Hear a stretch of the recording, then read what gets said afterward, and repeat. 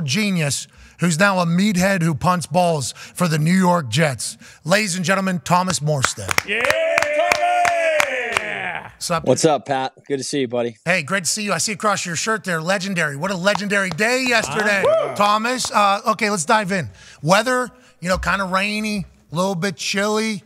Why do you think yesterday you were murdering the ball and had so much control on it versus maybe some other days where the ball doesn't do exactly what you tell it to do? Uh, well, you know, sometimes when the field gets wet, and soggy, uh, the ball doesn't check as hard each way. And, um, you know, the defense has been playing so well. They've been telling me to be aggressive. And they said, hey, if you hit a touchback, we'll live with it. They still got to go 80 yards. So be aggressive. And we've already gotten two safeties off of uh, punt field position this uh, month. And they've just been telling me to keep being aggressive. And, um, you know, sometimes you got to Look at that. you got to talk a little, you got to talk a little dirty to the ball and just tell it what to do. And it was uh, it it it listened yesterday, so it was fun. Hell yeah, it was spicy down there. Do you talk a little dirty to that ball? Would do some spicy stuff for you. I mean, you had three balls inside the five, two coffin corners, one that just settled in its zone. The amount of text messages I got from people, not just Jets fans, but everybody like, have you seen what Morstead's doing? have you seen what Morstead's doing today? 23 total punts in the game, 11 from you. Obviously, those three are going to get highlighted, but you had some bombs as well. Whenever Aaron goes down and Zach is your quarterback, and I know you've been on a team with Zach with the Jets, and we all have massive respect for him, but do you understand and realize, like, okay, my job, I'm going to have to do a little bit better now because we're a defensive heavy team, and that's like a little bit more pressure? How do you view it going in each week, Thomas? Um, I mean, look, I think you know, I think a lot of guys this offseason signed um, with kind of the caveat of being teammates with Aaron and having a chance to go win a championship. And so when he went down, that was uh, devastating for the team. And um, you know, we had to all, I think, acknowledge that, you know, that that happened and and and that he's not our quarterback right now. And guys have hung in there, and it's been a lot of fun to uh, punt for a team that's defense is just balling. And um, you know, I've uh, I wouldn't trade any of my years in New Orleans, but we kind of averaged about like two punts a game uh, in my 12 years there. So it's been a lot of fun. I think we're leading the league in number of punts, and we've been attacking, and the defense has been making us right. And so it, just to be playing that sort of complementary football that coaches talk about, we're actually doing it. And um, I could say we've had a hand in in all four of our wins this year, not only on punt team, on punt return. Um, special teams have been awesome. Greg Zuerlein's been balling as well. Um, we just have a crew of guys that believe that, and we're doing it week in, week out, and um, it's exciting to be a part of. Shout out to that barbarian Brant Boyer too, the special Oh, teams. you stole my line, Pat. I was I was going to tell you the barbarian said hello. So This guy used to be man, the wedge buster. This dude was the wedge buster for the Jacksonville Jaguars for like 11 years, 12 years. We're talking old He's- school days. he's a total stud, and um, he's he's he's one of the main reasons I decided to come back. I had a few other options this year, and um, playing for a coach like him who wears his heart on his sleeve, you always know where you stand. He's got the highest standards, and uh, he's just an old ball coach that loves his players. Um, man, look at that young coach right there. Man, look at that guy. Yeah. Uh, I just love I love playing for him. He's the best. And uh, you know, when you have a coach that believes in you and is telling you to be aggressive, it's just it's just a lot of fun to be a part of that. I think he's from Utah. Really? I think. Go yeah. Utes? Yeah. Or, I think so. No, I- he went to Arizona, but I think he's from. Ah. He Utah. did. We were just out in Utah. Place is beautiful, but yeah, absolute dog over there. Love to see you guys doing your thing, and I love that they're encouraging you to do your thing. Go ahead, AJ. Yeah, on those lines, I was wondering how does that, how much does that free you up when you feel like, hey, the defense trusts me. They say we don't care if it's a, a touchback, we'll we'll make it work. And your special teams coach, does that free you up as a punter? Like, man, I can I can make this thing land wherever I want. Well, I think th- there's two ways to answer that. Number one is, yeah, look, when you've got when you feel like you're playing in these type of field position type of games, um, you know, and the defense going 80 yards on them's tough, and they're saying, hey, listen, if you can pin this thing at the five or the six or the four, we're thinking we're going to score, and they're telling you that. It just allows you to be more aggressive. And who doesn't? I don't care what position you play in sports. When you're going for it and you're not playing it safe, that's every player wants to be in that position. You know, it doesn't matter what job you have, and so it's just a lot of fun to be a part of that. Um, and so, yeah, it's been cool. A few weeks ago, Coach Saleh, uh, you know, in the media was asked about it, and just he, I, I joke that he kind of gave me permission publicly to be a little more aggressive because he just said we like it that Thomas is is being aggressive and he's putting us in in those positions. So um, it's exciting and. Um, you know, to be doing this in my 15th year and being the old guy in the league at my position now, it's just, it's just, uh, it's it's it's kind of been a full circle deal for me uh, from just my injury three years ago and getting back in. It was hard to get back in, and seeing that side of the business was was really uh, tough. And being on a few different teams and bouncing around, it feels like I've kind of found a a second home up here and uh, just enjoying the hell out of it. Yeah, Pro Bowler, Super Bowl champion, guy got drafted in the fourth round, signed like a 10, 8 year deal with the Saints, I think, at one point because how consistent you have been.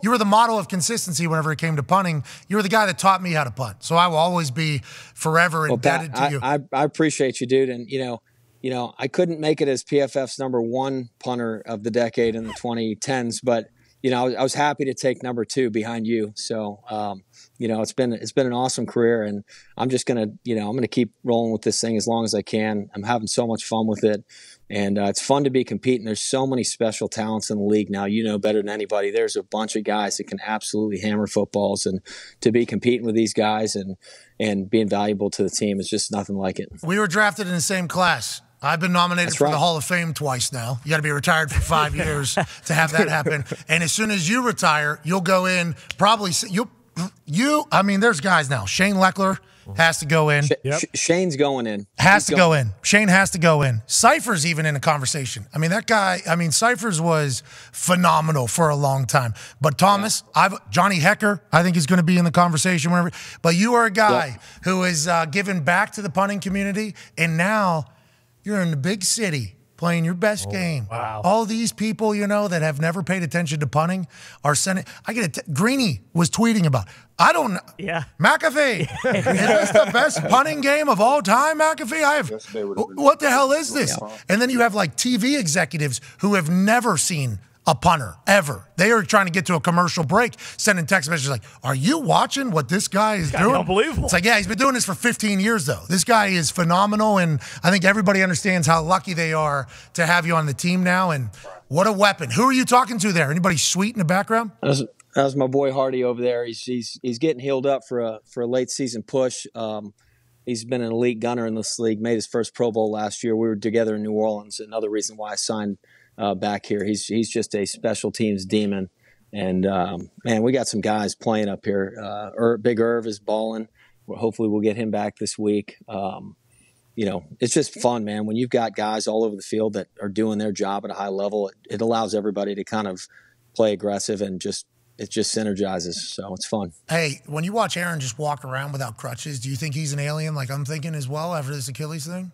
Let me tell you, it is it is it's it's like a hope thing. You know, every day, every week, you see him out there. He's done another week of rehab, and all of a sudden, he's doing a little something new, and you're like, wow, he this this this sort of uh, you know unrealistic uh, prediction uh, that he's coming back this season. It it there's a hope there, and I think guys love seeing it. Man, it's it's inspiring to see him out there, and um, you know, I think uh, we just got to kind of we got to keep hanging in there and uh, keep finding ways to win. Um, you can already see you can already see the story how this thing could end, oh. and it's it's exciting just to even think about it. It's it's too good. It's too good of a story. You can already see the ending, and um, it's just exciting to see him out there every week. Um, I think it gives the guys a lot of hope about what could be. That's what Saleh said. Saleh said his presence is just yeah. like needed. You know, he's telling them like, "Hey, we need you around more, pal." Listen, that's why I got this mustache roll. And when he went mm-hmm. down, and all of a sudden that, that the old white guy in the locker room with the mustache left, I said, I need to I need to fill in and fill in the fill in. And you know what? It's been working, so I'm going to keep it. My my wife hasn't forced me to shave it yet, so we're going to keep letting it roll. Hey, this might be the new you, pal. There I mean, you, you look good with that thing. And hey, listen, if, I'm I'm gonna I'm gonna roll with it as long as it's working. Yeah, I don't know if you saw those balls check up yesterday. I think the football yep. gods are blessing from the mustache gods. Last question here from Ty for you, Thomas. Yeah, Thomas. I know you guys have had a few injuries on the D line line. And based on the fact that you split time between punter and playing quite a bit of D line when you were in New Orleans, have you been, you know, working in with the D line at all? Or are we going to expect to, you know, see you on the field on Sunday or getting any reps in practice with those guys or what? Yeah, look, I pride myself on being a team guy. And so, um, I don't get a ton of reps, but you know, I told them if they need me to shoot the A gap, I'm ready. um, just whatever they need. I can run a fly. I'm not. You, Pat's seen me run. The side to side movement is is uh, is below average at but so but I'm more of a I'm like a I'm like a, a, locomotive. You know, it takes me a little bit of gas to like get up to full speed, but you know, I hit 20.8 on the old. Uh, wow. So not too bad for 37 years old. Um, training in the weight room as hard as ever, and and uh, so, anyways, I'm I'll do whatever they ask me to do.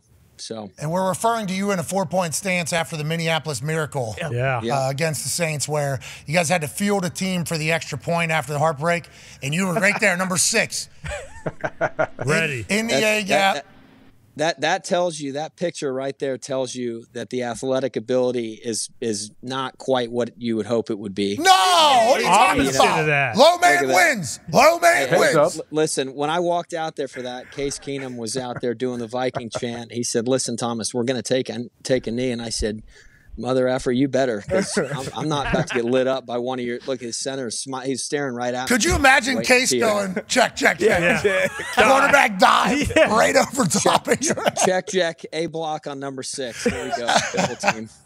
Uh, Thomas. You're a beauty, pal. I'm happy the world is seeing your greatness right now, and I'm happy you're continuing to represent for the 2009 draft class.